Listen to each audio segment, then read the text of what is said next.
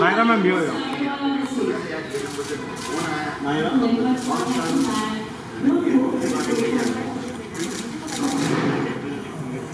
सोमोदी सोमो सोमोदी एक आइए ना फ़ोटो या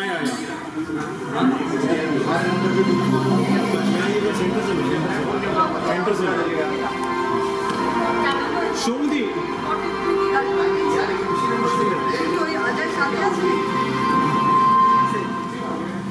सोमोदी यहाँ यहाँ। सोमोदी यहाँ पर नायरा मैम। कौशल मारना कौशल दिला मी आधा आता कॅनॉट काढतो काढे ना बघूया कौशल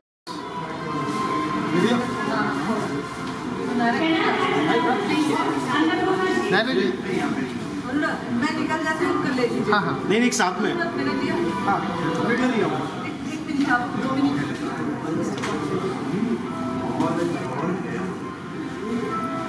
चलो थैंक यू वीडियो आए। हाँ। अनुज। आया? अनुज।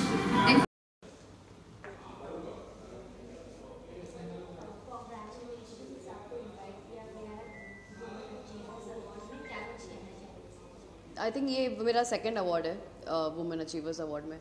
अभी अभी मैं इंडिया लैंड की एंड uh, आते ही मुझे एक अवार्ड मिल रहा है so that's a good feeling बहुत अच्छा टाइम चल रहा है। भगवान की दया है आप सबका प्यार है ब्लेसिंग्स हैं। And thank you for recognising my achievements and awarding me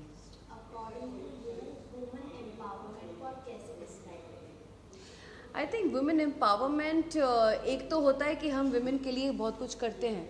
और एक होता है कि हम इंटरनली खुद को एम्पावर करते हैं। हम अपने स्किल्स को जानते हैं, हम फिगर आउट करते हैं कि हमारा कैलिबर क्या है और अब एक अपने आप को किस तरह से अपडेट करते रहना चाहिए। हम जब खुद को रोज़ अपडेट करते हैं तो लोग उस चीज़ को रिकग्नाइज करते हैं। जैसे कि एज एन एक्टर मैं अगर अलग अलग टाइप के स्किल्स सीखूँ, मैं अपने आप को बहुत अपग्रेड कर रही हूँ and I am empowering myself so that मैं अ, कोई भी प्रोजेक्ट करूँ मेरी सारी मेहनत मेरी जो भी जो कुछ भी मैंने लाइफ में सीखा है वो सारी चीज़ें यूज़ हों।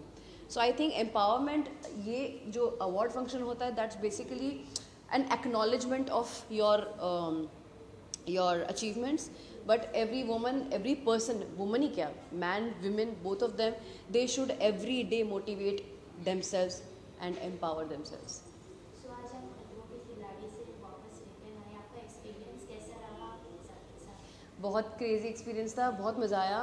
मज़ा मतलब वेदर का कंडीशन तो बहुत ही ख़राब था। इनफैक्ट इस साल का सबसे ख़राब वेदर था। बहुत ज़्यादा हवा, बहुत ठंडी और उस मतलब 50 किलोमीटर्स पर आवर का स्पीड है हवा का। और उसमें खड़े रहना इज़ वेरी डिफ़िकल्ट और उसमें हम स्टंट वंट कर रहे हैं।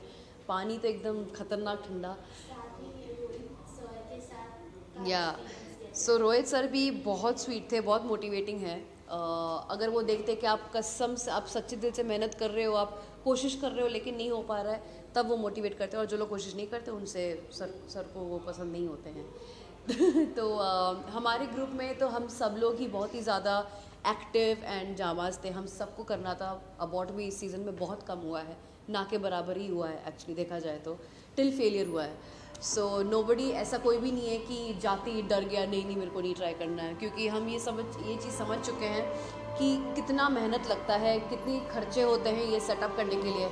और आप जब विदाउट अटेम्प्ट के अवॉर्ड कर देते हो तो उनका कित- उनको कितना बुरा लगता है। आप इस आप इस शो में आई हो अपने आप को, अपना डर भगाने के लिए, एक अपना, अपने आप को अंडरस्टैंड करने के लिए। सो बहुत ब्यूटीफुल एक्सपीरियंस था and it's it's it's gonna be a very memorable one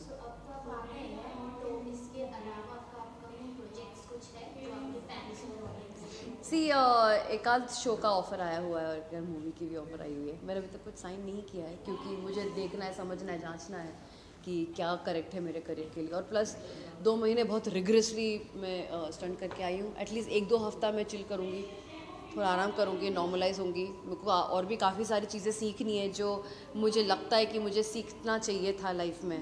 You know there is so much to do in life ये पूरा मेरा माइंड काफ़ी चेंज हो गया है वापस आने के बाद। सो स्केड्यूल बनाना uh, चीज़ें लाइन अप करना वो धीरे धीरे स्टार्ट करूँगी अभी कल परसों से। मेरे यहाँ तो दो लड़कियों के साथ बहुत अच्छा था ऐश्वर्या और अर्चना के साथ। मेरे हम हम तीनों बेस्ट फ्रेंड्स हैं। शिव के साथ भी बहुत बढ़िया था। और अरिजीत के साथ भी। बाकी सब अच्छे फ्रेंड्स पानी पानी से भी सर ठंडा। ठंड बर्दाश्त करना बहुत बड़ी बात है वहाँ पे। ठंड बर्दाश्त करना मतलब उस ठंडे पानी में जाओ, ठंडा हवा को झेलो। वो सबसे खतरनाक था। बाकी सब तो मैनेजेबल था। Every that cold was very bad alright thanks a lot